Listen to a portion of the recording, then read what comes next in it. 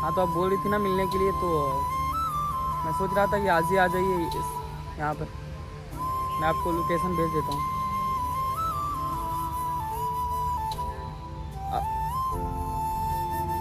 अभी बोल रहा था। यार, वो मिलने को बोल रही है और बहुत सारी धमकियाँ भी दे रही है।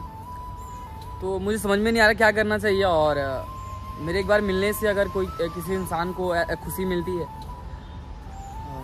तो मुझे लगता है कि मिल लेना चाहिए मुझे। और मुझे लगता है बहुत सारे लोगों ने भी कहा कि एक बार चांस देना चाहिए और मिलना चाहिए। तो मिलके मुझे क्या क्या होगा, क्या नहीं, मैं खुद इसलिए मैं नहीं मिलना चाहता था कि, क्योंकि अगर किसी से प्यार करते हो, उसके पास जाओ तो यार कैसा फील होता है। वो वो प्यार जो करता है, वही जान सकता है। आई थिंक मैं ऐसा लफड़ा मैं पढ़ना नहीं चाहता था बट यार कोई सामने वाला आपकी वजह से कुछ करे या कुछ खाना ना खाए, ये ना करे तो अजीब लगता है। क्योंकि आपकी वजह से कुछ होता है तो आपके ऊपर ही पड़ेगा। तो मैंने सोचा कि चलो आप लोगों ने भी कहा बहुत कुछ, और मैंने भी सोचा कि चलो मिल लेते और देखते हैं क्या होता है मिलने के बाद। आज तो मैं सोच रहा हूँ कि कॉल करूँ और बुला लूँ यहाँ पर मिलने के वास्ते। लेकिन थोड़ा घबराहट सी हो रही है कि क्या ये सही रहेगा या गलत रहेगा, मुझे ये भी समझ में नहीं आ रहा। बहुत सारे लोग ये भी बोल रहे हो ना कि ऐसा मतलब क्यों? तो भाई अगर ऐसा कोई इंसान नहीं है दुनिया में जो प्यार नहीं करता होगा। और मैं प्यार के ऊपर बहुत सारे एडवाइस कर देता हूँ कि ये करो मोटिवेशनल करता हूँ। लेकिन जब खुद इंसान इस चीज़ों में फंस जाता है ना तो उसके पास कोई समझाने वाला नहीं होता और ना कुछ उसको समझ में आता है। आई थिंक वो बहुत ही डिप्रेस हो जाता है। वो सोच नहीं पाता अपने माइंड के बारे में। और ये नहीं कि मेरे साथ ही हो रहा है, ऐसा बहुत सारे लोगों के साथ हो रहा होगा।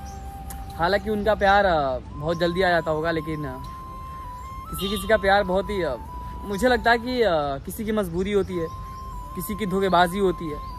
मुझे ये कन्फर्म नहीं पता है कि क्या धोखा हुआ है मेरे साथ या मजबूरियाँ थी कोई कह रहा है कि मजबूरियाँ हो सकती है, कोई कह रहा है कि धोखा हो सकता है। लेकिन मेरा दिल कहता कि यार, हो सकता है धोखा यार। मेरा दिल नहीं मानता। अभी लेकिन भगवान भी एक चांस देते हैं। मैं भी एक चांस दे रहा हूँ। वो नहीं कि प्यार वाला चांस दे रहा हूँ। मिलने का मि, मिल मिल के कुछ बातें करेगी शायद। हम भी करेंगे। और मैं किसी भी लड़की को बेइज्जत नहीं करता हूँ। चाहे मेरी बहन हो चाहे मेरी माँ हो चाहे मेरी इंस्टाग्राम की जितनी सारी सिस्टर हैं मैं सबको इज़्ज़त से बात करता हूँ। और मुझे इज़्ज़त देना आता है। चाहे मेरे को कोई धोखा दे या प्यार करे मैं किसी को बेइज्जत नहीं करता क्योंकि मेरे संस्कार में ऐसा कुछ नहीं है। और मेरे को किसी ने धोखा भी दिया तो मैं उसे पलट कर धोखा नहीं देता। उसे एक मौका देता हूँ मैं। बट ये थोड़ा अजीब था मुझे मौका देना, इसलिए मैं मौका नहीं दे रहा था। बट आप लोगों ने कुछ, बहुत कुछ कहा और मैंने भी कुछ सोचा कि चलो यार, अगर मेरी वजह से कोई इंसान कुछ करता है तो बहुत ही अफसोस करूँगा मैं ज़िंदगी में। और हालाँकि पहला प्यार था और पहला प्यार ये नहीं कि मैं प्यार कर लूँगा, अभी प्यार करना, ये करना, ये मेरे बस की बात नहीं है, बहुत बहुत तकलीफ़ साओं में। और इतना जल्दी प्यार हो जाए मुमकिन नहीं है हो नहीं सकता ये जल्दी। लेकिन मिलकर ट्राई करेंगे क्या होता है और क्या नहीं। बहुत सारे लोग ये बोलेंगे कि आ, क्या नहीं क्या नहीं वो वगैरह वगैरह। लेकिन कोशिश करेंगे कि हम उसे दूरी बना कर रखें और जब वो आएगी तो थोड़ा अलग मूड हो जाएगा मेरा हालाँकि। अभी तो कुछ समझ में नहीं आ रहा कि अभी करूँ फ़ोन या ना करूँ। और मन थोड़ा अजीब लग रहा है कि बुलाना चाहिए कि नहीं बुलाना चाहिए। अगर मैं बुलाऊँगा, उसका मतलब ये है ना कि जैसे नहीं होता, कोई गलती कर देता है तो उसका अफसोस होता है। अगर देखो, इंसान जो गलती नहीं करा होता है ना, वो आपको कितना भी दिलासा दिला दे कि नहीं, मैं नहीं किया हूँ गलती, कोई मानेगा नहीं। लेकिन जो गलती करके माफ़ी माँगता है ना, उसका अलग ही है मतलब अलग रहता है। लेकिन मैं सोच रहा हूँ ना कि वो इंसान किसी और से प्यार नहीं किया। मेरे पास ही क्यों आए बहुत सारे क्वेश्चन हैं जो कि मैं खुद समझ नहीं पा रहा हूँ। लेकिन साथ सामने बैठ कर समझा दे कि वो तो अच्छा रहेगा। लेकिन मुझे नहीं लगता यार कि समझा पाएगा वो इंसान। जो मुझे रोता हुआ छोड़ गया। तो देखते हैं। जो रोता हुआ छोड़ गया था वो हंसा पाएगा कि नहीं? मुझे नहीं लगता यार। आप लोगों ने हंसाया, मुझे आप लोगों ने साथ दिया और आप लोग हमेशा दोगे। मुझे आप लोगों को भरोसा है। मुझे और किसी पर भरोसा नहीं है और एक भगवान पर है। और एक भगवान के रूप मिले, माई माँ बाप पर है। तो इन लोगों का साथ है बस, आप लोगों का साथ है। और अगर मेरी ज़िंदगी में कोई आएगा भी ना तो आप लोगों से बढ़कर माता पिता से बढ़कर कोई नहीं होगा। ये मैं हमेशा कहता हूँ और मैं करता हूँ। मैं, जैसे कि होता है ना कि एक, देखिए बॉयज़ हो या गर्ल्स सबके लाइफ में प्यार है। और माता पिता के बाद एक प्यार आता है जो आपके लाइफ में लाइफ पार्टनर होता है। और मेरा लाइफ पार्टनर कौन सा होगा, कौन नहीं होगा, मैं अभी बता नहीं सकता। लेकिन जो भी होगा, उसको तो मेरे माता पिता की इज़्ज़त करना होगा। मेरी फीलिंग्स को समझना होगा, मेरे दर्द को समझना होगा, मेरे दुख में साथ रहना होगा, मेरे सुख में साथ रहना होगा।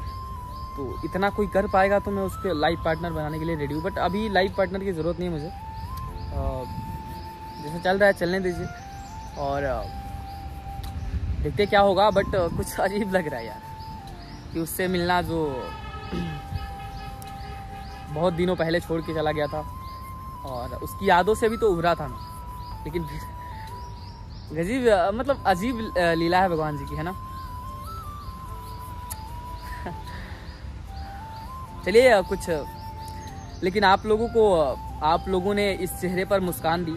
हालाँकि ये मुस्कान कभी झूठी होती है, कभी सच्ची होती है बट जो भी होती है आप लोग के लिए होती है। और आप लोग के लिए इंटरटेनमेंट करवाने के लिए हम कुछ भी कहते हैं। देखिए, हमारी जो वीडियोस होती है ना उस पर कुछ सीख मिलती है। बहुत सारे लोग अपने आप पर सोच लेते हैं कि ऐसा होता है। अरे भाई, उस वीडियो में देखो कि आप, आपके लिए क्या होता है। ये नहीं कि वो इंसान क्या बोल रहा है, वो सोचो कि किसके लिए बोल रहा है यार। इंसान को गलत मत समझो देखते हैं, कॉल करके बुलाने की कोशिश करते हैं बने रहे तब तक। क्या बोलते हैं, और बोलेंगे कि आ जाओ अब, अभी बात कर लेते हैं और क्या। जब बात ही करना है तो देर क्या करना बोलना गाते हैं अभी।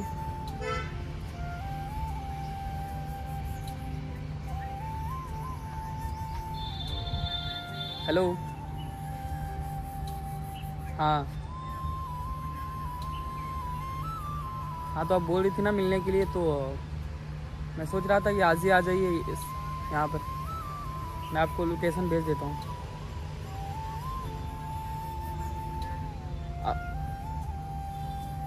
अभी बोल रहा था, अभी। हाँ अभी आ जाइए आप। इधर मैं आपको वेट करूँगा इधर। कितना देर में आ जाएँगे आप। आज क्यों नहीं?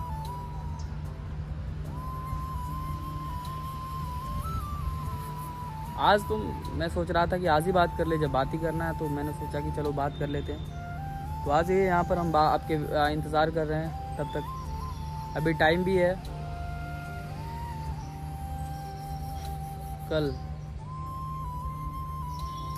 चलिए ठीक है। कल फिर मिलते हैं। नहीं नहीं, ठीक है, चलो ठीक है। मैं रखता हूँ अभी, फिर। ठीक है ठीक है। ठीक है। यार, हमने इतना देर सोच कर ये डिसाइड किया कि बात कर लेते हैं। शायद उनका कुछ काम था और बोली थी, कल मिलेंगे और, शायद कुछ तैयारी करना होगा उनको। हम तो जैसे भाई वैसे ही है।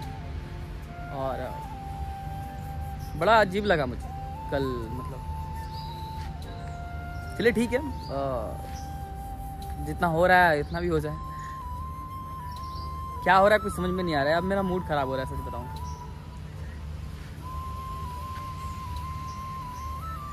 क्या करूँ यार? समझ में नहीं आ रहा है। बहुत दिमाग खराब हो रहा है यार। बट कोई नहीं। कंट्रोल बस आप लोग बने रहे और देखते हैं क्या होता है यार। कल मिलेंगे। और जो यहाँ पे बीत रहा है वो तो जिससे बीत रहा है वही समझ सकता है।